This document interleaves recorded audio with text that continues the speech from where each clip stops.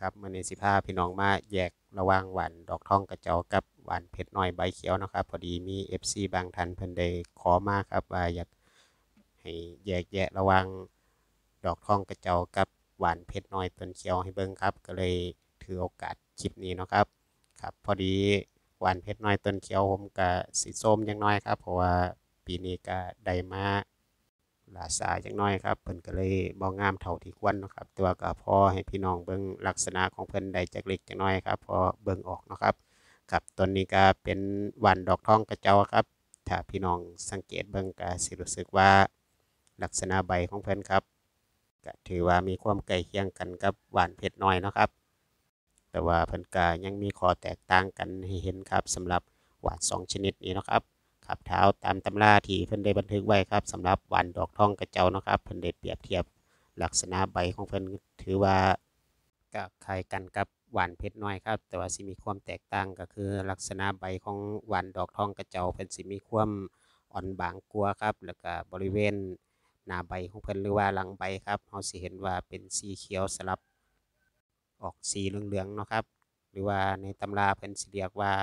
เป็นสีเขียวอ่อนสลับ ด้วยสีเขียวแก่เป็นเส้นเป็นลายเราเห็นครับตามบริเวณหน้าใบหรือว่าหลังใบของเพิ่นนะครับ แล้วก็บริเวณหน้าใบของเพิ่นสิมีความเกี่ยงมั่นกว่าใบหวานเพชรน้อยครับ อันนี้ก็คือใบหวานเพชรน้อยครับเราสิเห็นว่าลักษณะใบของเพิ่นสิมีความเขียวทึบกว่าใบหวานดอกทองกระเจ้าแบบเห็นได้ชัดครับ บริเวณหน้าใบของเพิ่นก็สิมีเพียงสีเขียวแล้วก็สิเป็นเส้นเหลียวของกานใบแบบเห็นได้ชัดคือกันครับถ้าเราสังเกตดีๆนะครับ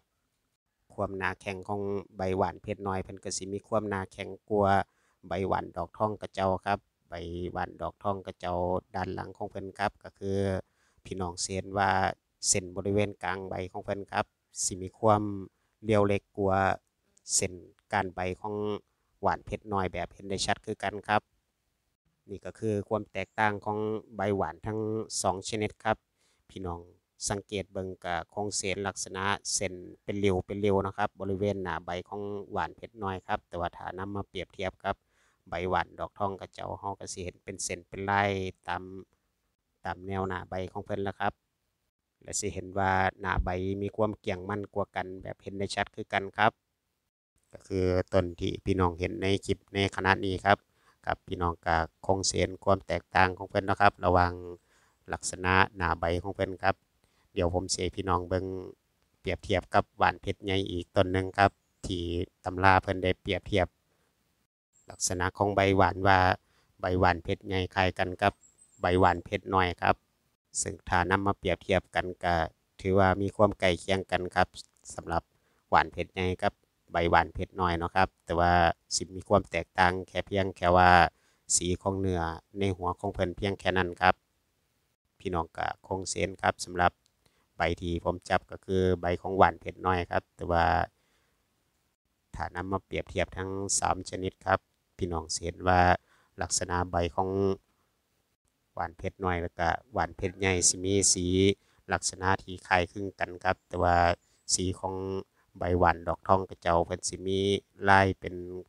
สีเขียวอ่อนๆแล้วก็เป็นสีเขียวแก่ๆนะครับ สลับกันไปสลับกันมาครับ นี่ก็คือด้านหลังใบของเพิ่นครับสำหรับบาน หวานเพชรน้อยแล้วก็หวานเพชรใหญ่นะครับซึ่งก็ถือว่าบ่ได้มีความแตกต่างอหยังกันเลยครับสำหรับใบหวานสองชนิดนี้นะครับ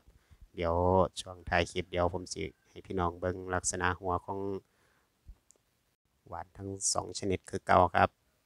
ครับสำหรับหวานดอกทองกระเจ้าครับ พี่น้องเสิเห็นว่า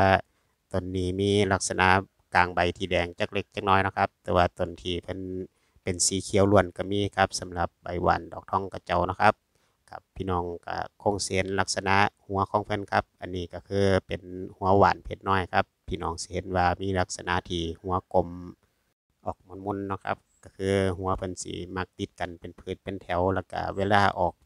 เป็นกอเพิ่นก็สิมักออกเป็นกอโดยรวมๆกันเป็นกอคายกอเข่าครับ ซึ่งก็คายกันกับตำราที่เพิ่นได้เปรียบเทียบไว้ครับครับถ้านำมาเปรียบเทียบกันกับ วันดอกทองกระเจ้าครับ พี่น้องก็คงเห็นระว่างหลากของเพิ่นนะครับสิมีความแตกต่างกันแบบเห็นได้ชัดครับสำหรับหลากหวานสองชนิดนี้นะครับ อันนี้ก็คือเป็นหวานดอกทองกระเจ้าครับ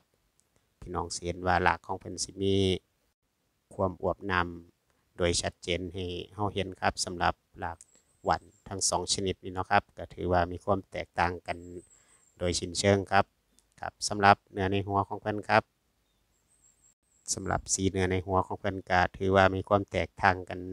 โดยมากหลายอยู่ครับสำหรับหวานสองชนิดนี้นะครับ อันนี้ก็เป็นหวานดอกทองกระเจ้าครับ ถ้าพี่น้องสังเกตเบิ่งเนื้อในหัวของเพิ่นครับสิเห็นว่าออกลักษณะเป็นสีน้ำตาลอมชมพูจักเล็กจักน้อยครับ ถ้าเฮา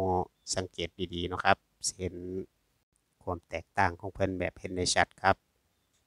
ซึ่งสีของ หัวหวานเผ็ดน้อยครับ พี่น้องเห็นว่าลักษณะของเพิ่นจะออกเป็นสีน้ำตาลอ่อนๆครับ ซึ่งหัวของหวานเผ็ดน้อยสิมีกลิ่นหอม แล้วก็ขมคืนกว่าหัวหวานดอกทองกระเจ้าแบบเห็นได้ชัดครับ ถ้าเฮานำมาเคี่ยวเปรียบเทียบกันนะครับ ซึ่งกลิ่นของหัวหวานดอกทองกระเจ้าเพิ่นสิมีเพียงกลิ่นหอมอ่อนๆครับ แล้วก็มีรสขมเพียงเล็กน้อยนะครับ สิบ่ขมเท่ากับหวานเผ็ดน้อยปานใดครับ แล้วก็เวลาที่เฮาเคี่ยวครับเฮาสิรู้สึกว่าหัวหวานเผ็ดน้อยเพิ่นสิมีความกรอบกว่าหัวหวานดอกทองกระเจ้าแบบเห็นได้ชัดครับ นี่ก็คือจุดแตกต่างพี่น้องก็คงสิได้เห็นทุกส่วนของเพิ่นแล้วนะครับบ่ว่าสิเป็นหลากแล้วก็หัวของเพิ่นแล้วก็สีเนื้อในหัวของเพิ่นครับแล้วก็ลักษณะใบต่างๆนะครับก็ถือว่ามีความแตกต่างกันแบบเห็นได้ชัดครับสำหรับหวานสองชนิดนี้นะครับ เดี๋ยวพี่นาถ้ามีโอกาสเดี๋ยว ถาต้นเพิ่นงามๆครับเดี๋ยวผมสินำมาเปรียบเทียบพี่น้องเบิ่งใหม่อีกจะคลิปครับเพราะว่าต้นของเพิ่นคลิปนี้ก็ถือว่าบ่มีความงามเท่าที่ควรปานใดครับสำหรับคลิปนี้เนาะครับครับถ้าผมผิดพลาดประการใดก็ขอโทษขออภัยพี่น้องที่เข้ามารับชมครับคลิปนี้ก็สวัสดีครับ